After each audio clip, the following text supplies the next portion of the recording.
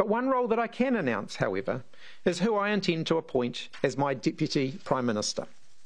I am delighted to announce that I intend to appoint Carmel Sepuloni to that role. Carmel is an outstanding minister. She has overseen a period where record numbers of New Zealanders have been moving off welfare and into work. During her time as a minister, she's overseen the administration of the wage subsidy scheme that ensured many Kiwi businesses were able to stay afloat during the global pandemic, whilst also ensuring that our welfare system treats people with respect and with dignity. Carmel will be the first Pasifika person to hold the position of Deputy Prime Minister.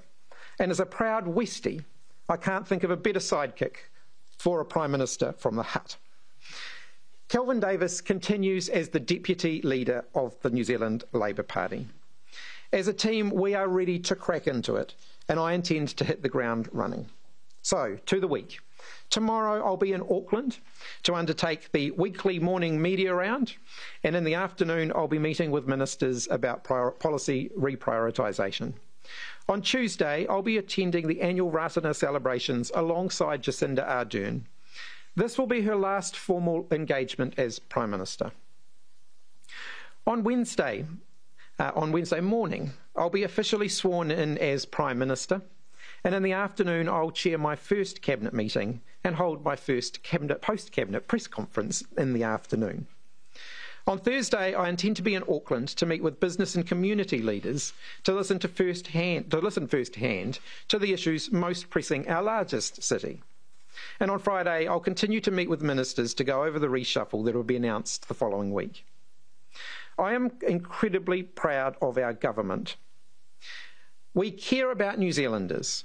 We're experienced and battle hardened and ready to take on the next round of challenges that our country faces. The current global economic conditions do demand a refocus, and I intend to provide that. But we don't need a change of heart. We need to apply the heart that we already have to the things that matter most to Kiwis. And that is exactly what we will be doing. I'm now going to hand over to Carmel, who has a few remarks, and then we will certainly open up for your questions. Thanks, Chris, and uh, acknowledging everyone that's here and, and watching. Uh, first, I just want to acknowledge you, Chris, uh, for taking up this position uh, and acknowledge the fact that all of your caucus, including me, uh, believe in you and know that you will be an exceptional Prime Minister. Um, secondly, I just want to acknowledge um, the fact that you've made the decision to choose me as your deputy. Uh, that shows a great deal of confidence and belief. Uh, and I want to uh, just express my absolute commitment to Chris as the next Prime Minister of New Zealand. Uh, I will be there backing Chris up every step of the way and doing whatever he needs me to do. Um, I'm very humbled to have been chosen by Chris and supported by my colleagues to take on this very important role. Uh, it is very hard to fathom that a working class girl from Waitara who turned Westie, uh, that that person can become the Deputy Prime Minister of New Zealand. Uh, and now I get to back up the boy from the Hutt in that role. Uh, I want to acknowledge the significance uh, of this for our Pacific community. Uh, I am proudly Samoan, Tongan, and New Zealand European and represent generations of New Zealanders with mixed heritage.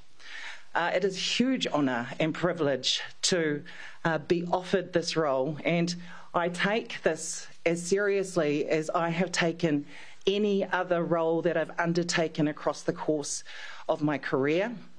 Uh, as Deputy Prime Minister, I will continue to be focused on what I always have been focused on, and that is serving our communities in whānau and Aotearoa, and I will do that to the best of my ability. Uh, I want to acknowledge too, as, as Chris has done, uh, the outgoing Prime Minister and Deputy Prime Minister. Uh, they are big shoes to fill, uh, but we have the backing of our caucus to step into those shoes, and I look forward to doing the mahi.